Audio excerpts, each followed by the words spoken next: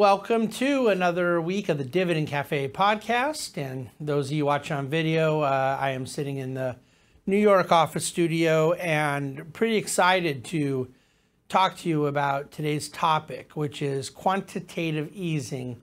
And uh, just before we began this recording, I was talking to my wife on the phone and I told her what I wrote Dividend Cafe about this morning and uh, it was really clear in her voice that she was pretty excited about it. And I expect that you guys are going to be equally excited. Um, the sarcasm is based on the fact that quantitative easing may be one of the most boring subjects known to mankind for uh, regular people who have lives. Uh, I'm not a regular person and I don't have much of a life outside of all this. But the reality is that quantitative easing in financial media right now is uh, may give one the impression it's the only thing that's happened in, in the whole entire economy. Uh, QE, as it is called for shorthand, um, is a big topic in monetary economics. It's a big topic in investment finance. And uh, there's a reason why I want to address this topic. And there is a sort of once and for all kind of um, vibe going on here. Like, I want to cover this today in a way that like will cover it once and for all because the the media will keep the topic going. The topic does have real currency in actual Fed activity and in actual uh, in a policy framework into the future. It's kind of embedded into this part of national economic planning since the financial crisis. And and yet I want the once and for all to be how we think about it as investors, and in my case, as investment managers uh, at the Bahnsen Group. Um, so I'm going to try to explain it a little, unpack it, and, and then give you kind of my own commentary, uh, both from a policy standpoint. You know, if I could be uh, not king for a day, but Fed governor for a day, what's the difference between king and Fed governor? Fed chairman is far more powerful than a king. Um, but no, it, it's not just if I were Fed chair for a day, it's also the non-hypothetical of me actually being the chief investment officer at the Bahnsen Group, how I think about this topic and want you to think about this as investors who live your lives with goals and therefore have the capital markets as a tool at your disposal to help meet and satisfy goals, which is very different than the way a lot of people have to approach the subject of quantitative easing. So there's some data here that's in the written dividendcafe.com uh, that i am going to hold on to because I want to cite it accurately as we go through it. But let's just start with some history, okay? Um, we had never really used the term quantitative easing ever. Uh, and I'm saying from the vantage point of being an investment professional uh, prior to the GFC. Uh, at the point of the great financial crisis, um, we were introduced to not just the terminology, but in our country, we were we were introduced to the policy itself, and and it was the notion of using the central bank as a buyer of bonds as a policy tool to affect interest rate policy and affect liquidity in financial markets. It was meant to be a stimulative tool to help the Fed achieve its dual mandate of price stability and full employment uh, clearly they would have been targeting more the full employment side um, in their thinking, and their framework, by the use of quantitative easing. What it actually is, which A, uh, I'm about to explain, and B, was remarkably explained with quite a bit of candor and frankly, pretty impressive clarity by one Ben Bernanke himself. And gosh, I usually remember dates vividly. I want to say that it was in late 2009. Um, at what at what point Ben Bernanke did a pretty famous 60 Minutes appearance, and he was in his hometown of uh, South in South Carolina, um, where he uh, was interviewed by 60 Minutes, and at that on that lengthy episode, which had a whole lot of things that were going on, he I, I remember distinctly him giving the American people a sort of definition of quantitative easing. I thought he did a really good job. But what it is is the Fed buying bonds from banks, um, you know, the major dealer banks that are the authorized dealers of United States Treasuries. The Treasury goes and issues these bonds at auctions. Our dealer banks buy the Treasury bonds. That's how our, uh, our, our government spending is financed. They sell bonds, they receive cash, and then they go spend the money. Okay, so that's what the government does. They issue bonds, banks buy them. Those banks then go off to sell them or hold them on their balance sheet or whatever they're going to do. The banks with quantitative easing are then selling these bonds to the Federal Reserve. The Federal Reserve is paying them cash and for the portion of the bonds that they're buying. A lot more bonds get issued than what the Fed's buying. But my point is the portion the Fed's buying through quantitative easing, they are crediting the, the banks with cash and those that cash goes to the bank's excess reserves above and beyond their statutory reserve requirements that they have to have to function as a bank. That sits as cash at the banks, and then the Fed receives the bonds. Now the Fed is holding a bond, which is an asset on the Federal Reserve's balance sheet, and the government has the liability, which is they have to pay that bond back at the maturity date. You follow me?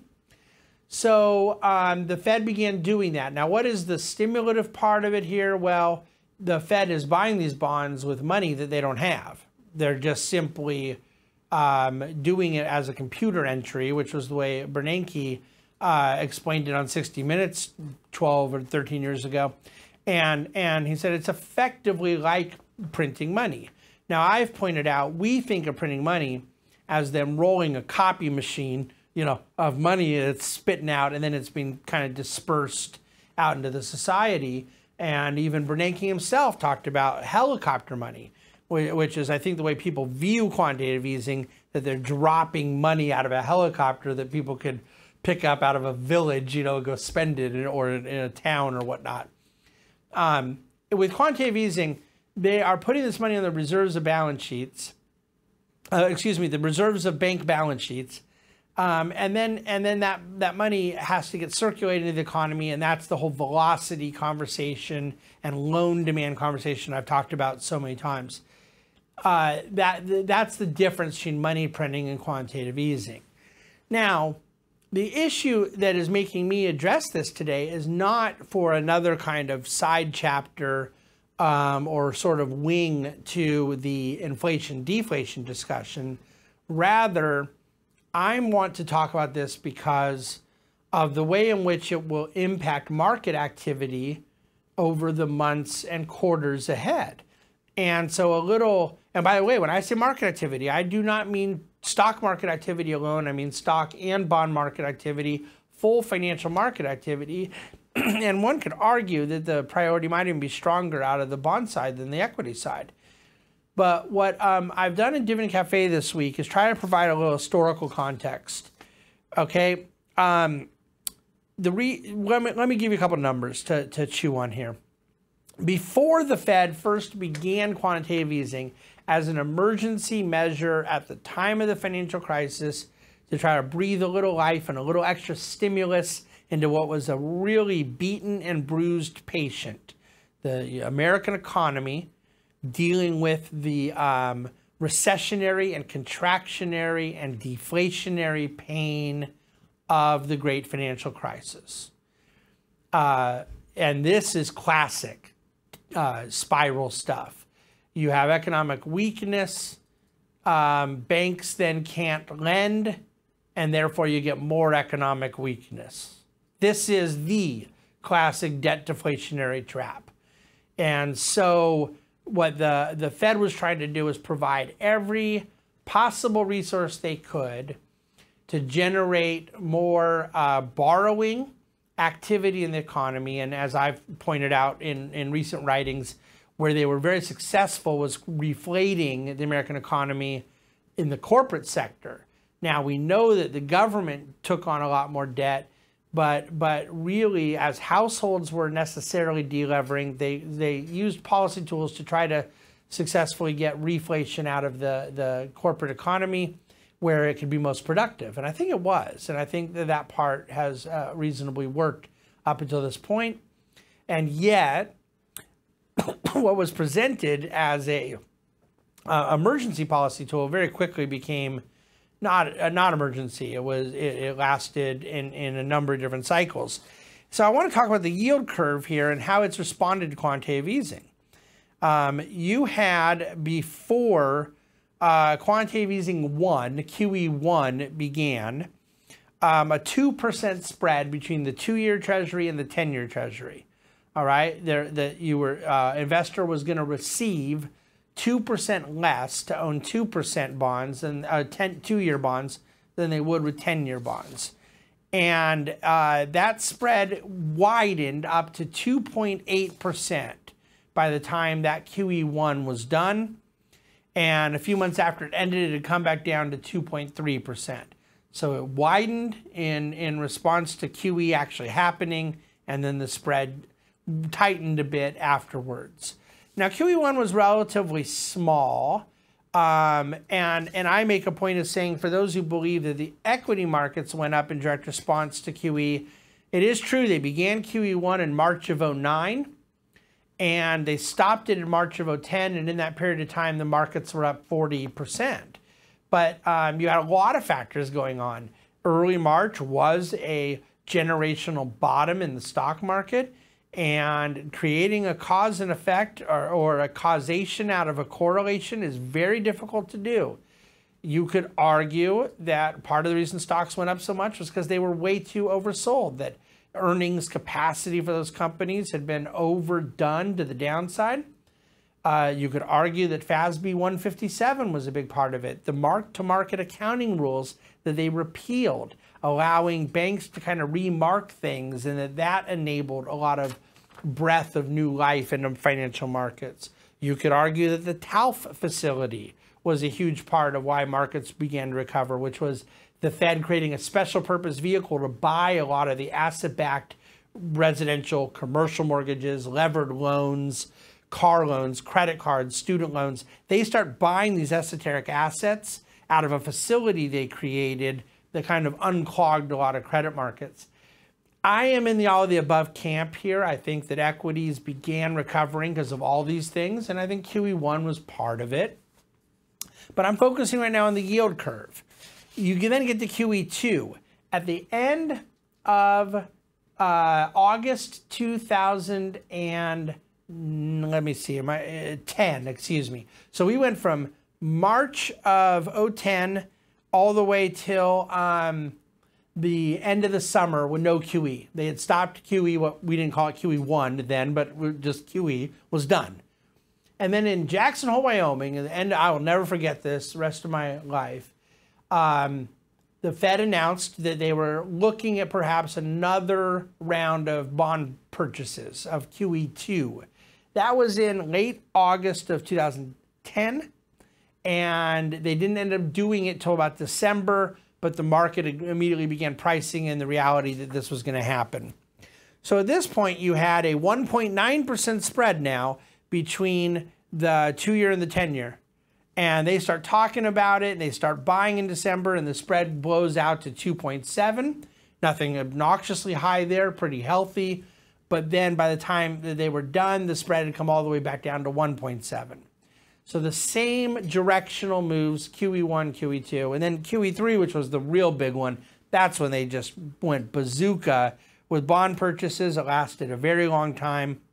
That 210 spread was only at about 150 basis points, 1.5%. And they went on to a, a couple years of bond buying, and the spread got all the way to 2.6%. And then by the time they were done and they announced and they tapered off, spread had come back down to 1.8. So three out of three times, you had a reasonably tight spread. They do QE, you get a wider spread. They announce QE is ending, you get a tighter spread. And I think that is what the bond market does is it's responding it's it's expectations. It's not responding to the news, it's responding to what they see going forward, okay? And so what you've had here with COVID, which is a bit unique because the, the yield the, the yield curve was so tight uh, back in February, March 2020. It was basically dead flat and they widened the curve. It got all the way to 180. Uh, what was it? uh, blah, blah, blah. I want to get this exactly right. Um, 158 basis points was the widest we got back in March. So it was a full year later. They've been doing QE infinity. And the, all they were able to get was 158 basis points between the two year and 10 year. But that was coming off of it being totally flat. So again, did QE do that? Or did the fact that the economy reopened and that COVID didn't, you know, kill everybody and all the things that we were worried about a year and a half ago as that economic improvement came, the, the spread kind of pushed out. Now, as you start hearing talk about talk about tapering, and not just even the Fed signaling it, but just the common sense of the fact that we know it has to be coming, the $40 billion a month of mortgage bonds being bought when housing is utterly on fire. As the market starts to prep for it, you've seen the spread tighten a bit. And as I'm talking here right now, I looked just a few minutes ago, the two year is at 0.24%, the 10 years at 1.3. So you got a little over 1% of spread. So we were at 158, now we're back to 1. So now make it 4 out of 4 times that you had a tight spread, announced QE, you get a wider spread, the, the light at the end of the tunnel, you get a tighter spread. And I think that um, what this means is that expectations get priced into the bond market and probably get priced in the bond market even better than they do in the stock market. It's a larger marketplace. It is a highly efficient one around bond yields and so forth. Well, I think it's incumbent upon me to explain what in the world this has to do with you, why this matters. Um, you know, Federal Reserve Chairman Jay Powell is up for renewal. Okay, uh, the president has this authority to make his nomination, and if he were to um, uh, not renominate uh, Jerome Powell, I think it would be one of the very first things people would want to ask the uh, successor nominee. What are your plans with quantitative easing? I find it very hard to believe that Jerome Powell would do much of anything very aggressive before some settlement about that. And I, that's partially why I expect the president will likely uh, announce his intentions much before the kind of renewal date. Uh, I think that he'll he'll get in front of this um, because of its potential for disruption or, or enhanced volatility in markets. But the reality is that with the expectation coming, the yield curve tightening in advance of this, of some form of tapering, of slowdown, of quantitative easing. I made a list in Dividend Cafe today of eight different variables once you accept the premise that some form of slowdown of QE is coming. Uh, what, when will the mortgage bonds begin to be reined in? At what speed will the mortgage bonds be reined in? But then when will the Treasury tapering um, be considered? Uh, uh, will, will they actually slow down on the Treasury purchases? Because I'm assuming, of course, that the Treasury purchases being tapered or slowed down will happen after the mortgage side. Theoretically, I could be wrong about that, but I don't think I am. But even that's another variable, another uncertainty. Once Treasury tapering, a slowdown of bond purchases is considered, when will it actually take place? Because I think there will again be a lag. Bernanke's so famous taper tantrum in the markets. I remember it uh, like it was yesterday. It was June of 2013. And then in October of 13, he announced that they were going to start doing it in December of 13 to go all the way till October of 14. So it was a June of 13 kind of flirt that didn't actually end all the way until October of 2014. So I expect to see some more of that, which again adds to kind of uncertainty and questioning around timeline of all these things. Once it's announced, how long will the tapering last? Uh, what will the rate impact be as QE is slowed? What will the government spending be as QE slowed? And will the market fund the deficits that that spending creates when the Fed is not buying the bonds from banks? Uh, and will an emergency happen economically along the way before the QE has come to an end that requires the QE to be reaccelerated. Now, I'm sure there's more things that could belong to this list, but my point is here's eight or nine things that are all variables that are of no interest to me whatsoever when it comes to the long term asset allocation of a well constructed portfolio. but all of which represent different opportunities for hedge funds, for traders, for day traders, for algorithms, for high frequency, for various short term market actors that don't have the financial goals you have to have a point of view, to want to express a position in the form of a trade. And that is necessarily volatility enhancing. So I don't think it's just going to be a key matter of hand wringing at the Fed, how they're going to handle all this with the political ramifications of that around Powell's reappointment. I don't think it's going to just be um, a media focus, something that the press is talking about incessantly.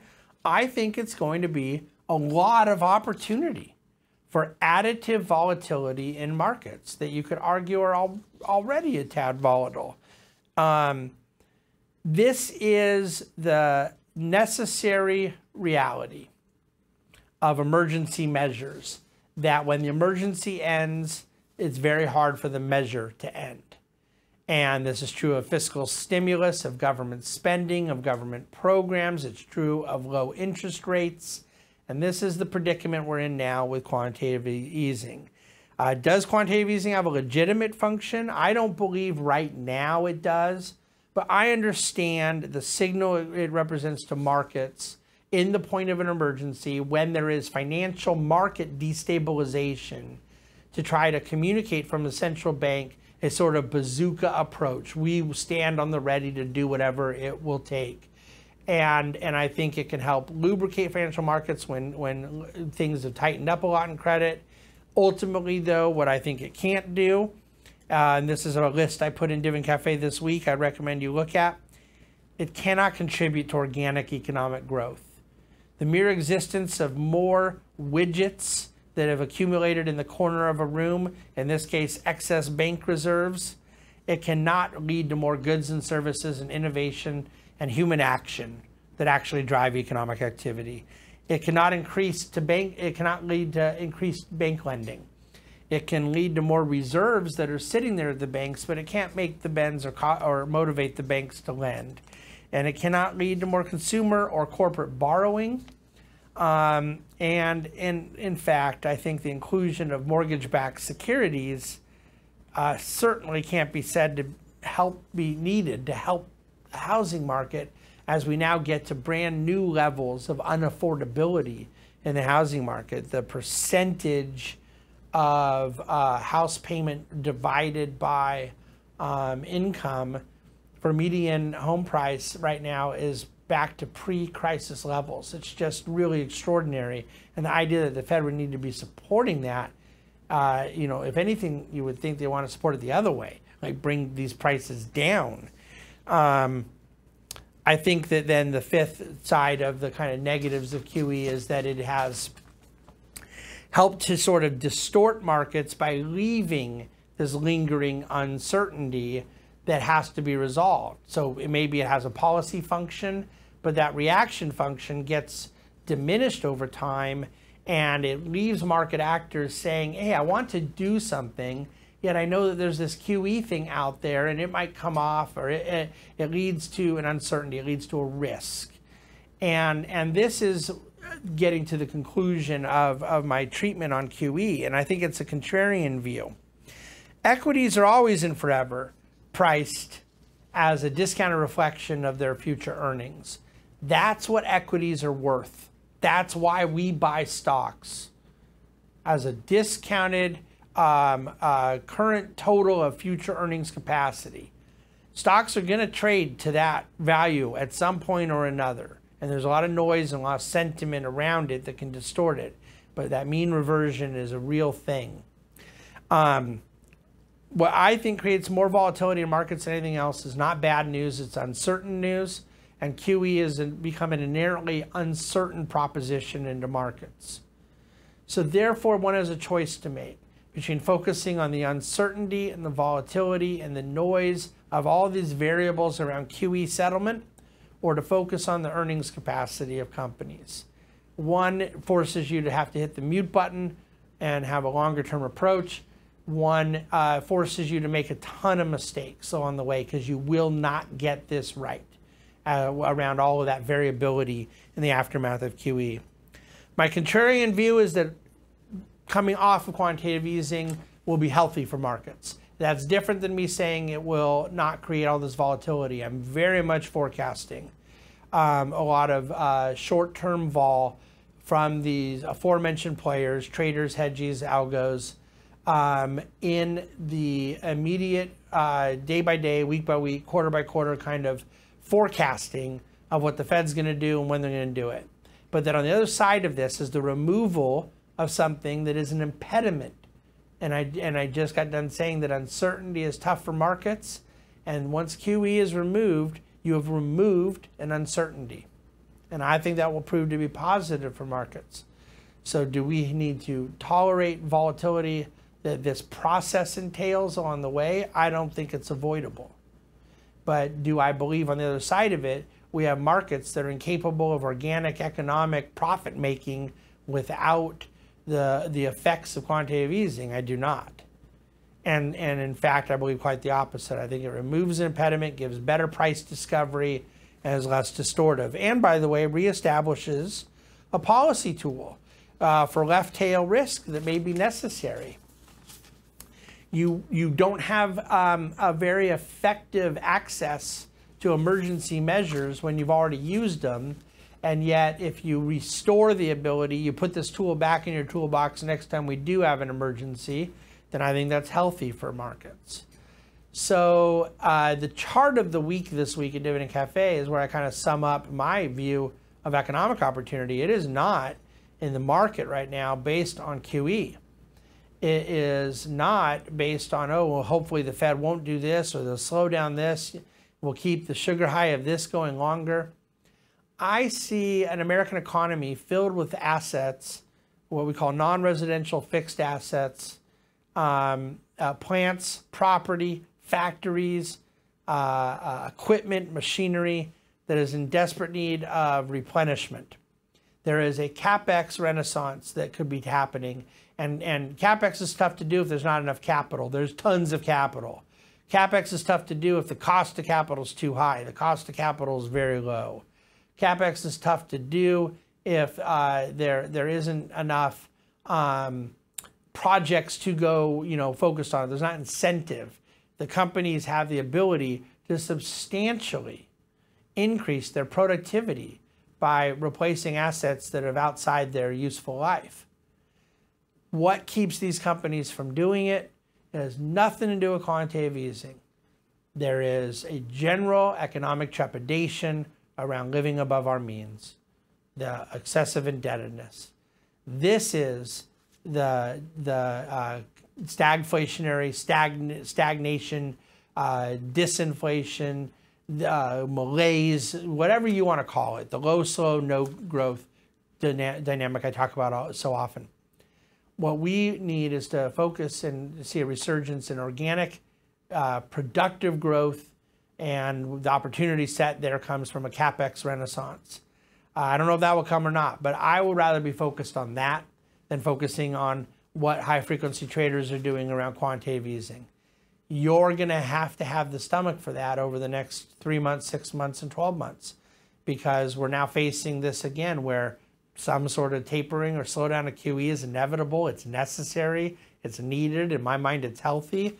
And yet, from yield curve activity to even equity market reaction, you expect it's going to increase volatility. And on the other side of it is the real reason that we invest in equities, the real reason that we can tie what we're doing in your portfolio to the achievement of your financial goals. So, thank you for bearing with this discussion on quantitative easing. I hope it has entertained you and thrilled you more than it would my wife. And with that said, thanks for listening to and watching the Dividend Cafe. Please spread the word, rate us, review us. With that, go enjoy your weekend. Thanks again.